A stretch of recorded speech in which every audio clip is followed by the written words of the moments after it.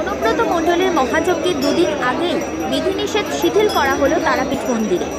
এবার থেকে স্বাচ্ছন্দ্যে পুজো দিতে পারবেন পুণ্যার্থীরা। হোটেলে থাকার তৃতীয় ঢেউ আসতেই চারই জানুয়ারি থেকে তারাপীঠে পুজো দেওয়ার উপর বিধিনিষেধ জারি করা হয়েছিল।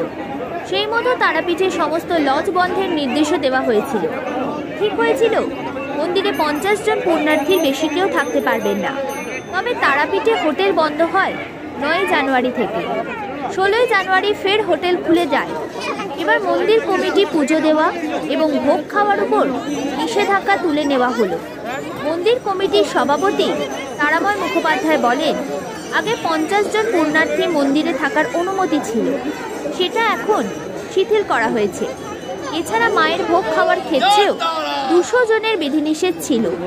এখন থেকে সেটাও শিথিল করা হলো।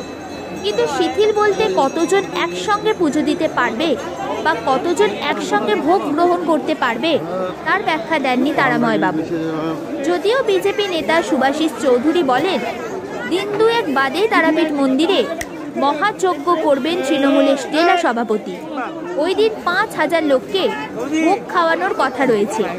সেই কারণেই মন্দিরের বিধিনিষেধ শিথিল করা হলো। শাসক দলের কোনো প্রোগ্রাম থাকলে সব কিছু শিথিল হয়ে যায়। কিন্তু বিরোধীরা বিধি আপনারা দেখছেন নিউজ বাংলা নজর কাড়া খবর। বিধিনিষেধ আমাদের যেটা কোভিড প্রটোকল মানে মন্দির খোলা ছিল বিধিনিষেধ আমরা পুরোটা তুলছি না পুরো মানে ধাপে ধাপে আমাদের বিধিনিষেধটা উঠছে। যেটা পঞ্চাশ জনের যে রেজিস্ট্রেশনের ব্যাপারটা ছিল সেটা কিছুটা শিথিল করা হয়েছে। আর ভোগ ভান্ডারা যেটা নিষেধাজ্ঞা ছিল অল্প সংখ্যক রোগী যেটা চলছিল সেটার পরিমাণটা কিছু বাড়ানো হয়েছে। তাই পুরো কোভিড প্রটোকল মেনে মন্দির খোলা আছে।